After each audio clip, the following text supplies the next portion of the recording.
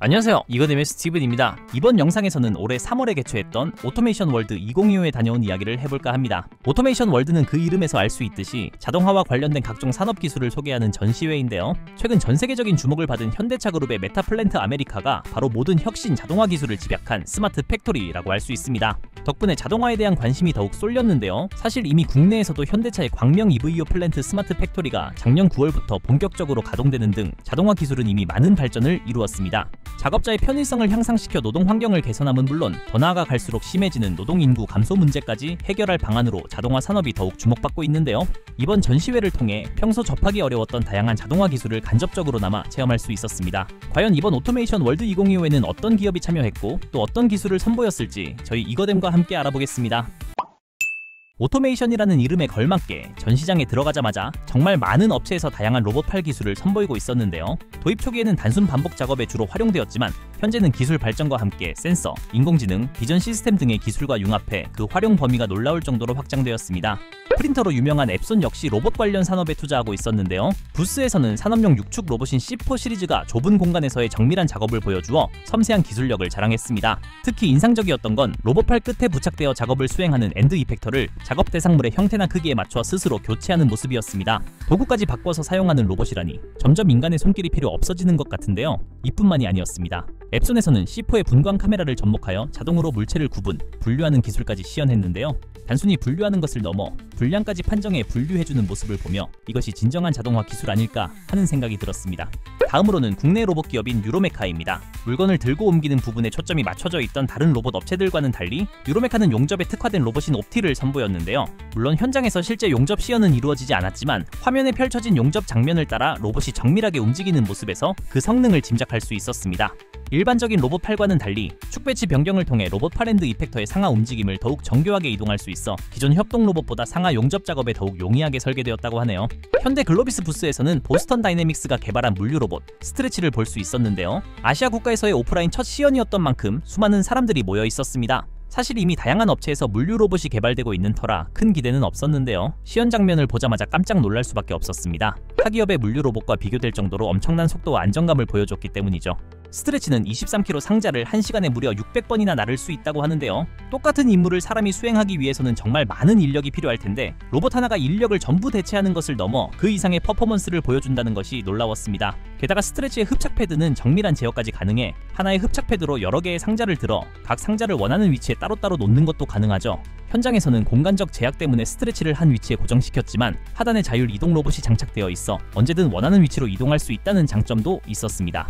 예전에는 로봇팔 기술 자체를 선보이는 곳이 많았는데요. 이제는 로봇팔 끝에 달리는 gripper와 같은 end effector나 센서와 vision system 등의 기술 연구 개발에 집중하는 것 같았습니다.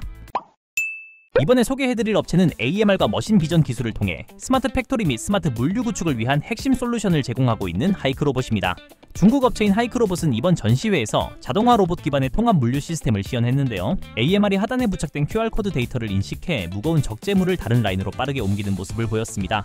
그런데 어딘가 익숙한 기술 같다는 생각이 들었는데요. 저희 영상을 꾸준히 시청하신 분들이라면 아시겠지만 재작년 오토메이션 월드에서 LG CNS가 이미 선보였던 기술과 같은 방식으로 작동하는 것 같았습니다.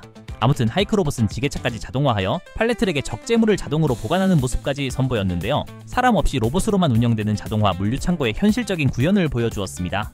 국내 기업인 원익 로보틱스 부스에서도 AMR 시연을 하고 있었는데요. 다른 업체 AMR과 어떤 차별점이 있을까 찾아보던 중 놀라운 사실을 하나 알아냈습니다. 바로 전 세계적인 기업인 메타와 협력해 로봇 핸드를 개발하고 있다는 점이었죠. 메타가 자체 개발한 고성능 촉각 센서 기술과 원익 로보틱스의 알레그로 핸드를 통합한 것인데요. 원익 로보틱스와 메타가 손을 잡을 수 있었던 건 다른 로봇 핸드와는 다른 높은 기술력을 보유했기 때문입니다. 일반적인 로봇 핸드는 보통 2개에서 3개의 관절을 가지고 있는데요. 알레그로 핸드는 각 손가락마다 4개의 독립적인 토크 제어 관절을 가지고 있기 때문에 사람 손의 움직임에 훨씬 가깝고 복잡한 동작을 수행할 수 있다고 합니다. 또한 각 관절의 제어 시스템을 통해 손가락과 관절에 작용하는 힘을 매우 정밀하게 제어할 수 있는데요. 이 기술을 통해 다양한 형태나 재질의 물체를 안정적으로 집을 수 있는 것은 물론 계란처럼 깨지기 쉬운 물체도 섬세하게 다룰 수 있다고 합니다. 메타의 목표는 자사의 AI인 메타 AI가 시각, 청각뿐만이 아니라 촉각까지 활용하여 물리적 세계와 자연스럽게 상호작용하는 로봇 기술을 개발하는 거라고 하는데요.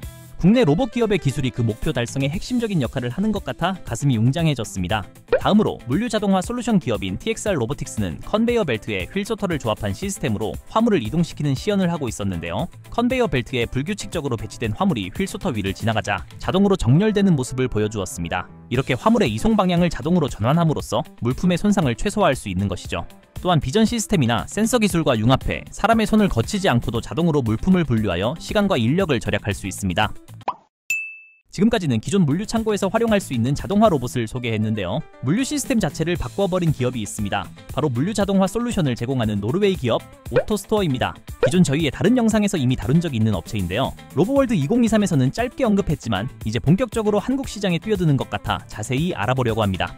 오토스토어는 세계 최초로 큐브형 자동 창고 시스템을 개발했는데요. 부스에 설치된 창고 시스템과 그 시연 장면을 보니 제가 기존에 알고 있던 물류 창고와는 완전히 다른 느낌이었습니다. 기존의 물류 창고 하면 떠오르는 pallet rack 대신 grid framework를 구축하였고 격자 사이사이에 보관 용기인 bin을 층층이 쌓아 보관하는 형태였는데요. 오토스토어 로봇이 grid 위를 돌아다니며 필요한 bin을 들어 올리는 식으로 지게차의 역할을 자동으로 수행했습니다. 여기서 bin이 어떤 기준으로 적재되는지 궁금해 직원분에게 여쭈어보았는데요. 오토스토어 컨트롤러가 모든 bin의 위치와 내용물을 실시간으로 파악하여 자주 사용되는 bin은 상단에, 덜 사용되는 bin은 하단에 자동으로 배치하여 관리한다고 합니다. 기존 시스템으로는 사람이 발주 물량을 일일이 체크해 지게차로 물품을 꺼내는 번거로운 과정을 수행했을 텐데요. 오토스토어는 데이터만 입력하면 로봇이 알아서 해당 물품이 보관된 bin을 찾아 꺼내오는 것이죠. 오토스토어 시스템은 물류창고의 인력을 완벽하게 대체하기 때문에 사람이나 지게차가 다닐 공간이 필요가 없는데요. 덕분에 기존 수동 보관 방식 대비 최대 4배의 보관 공간을 확보할 수 있어 공간 활용을 최대화할 수 있다는 장점이 있습니다.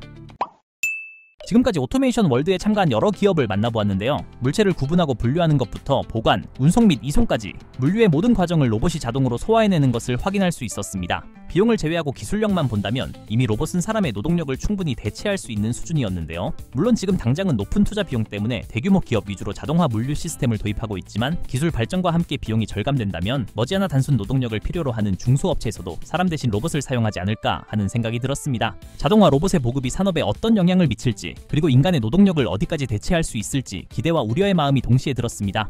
지금까지 이거댐이었습니다. 영상 시청해 주셔서 감사합니다.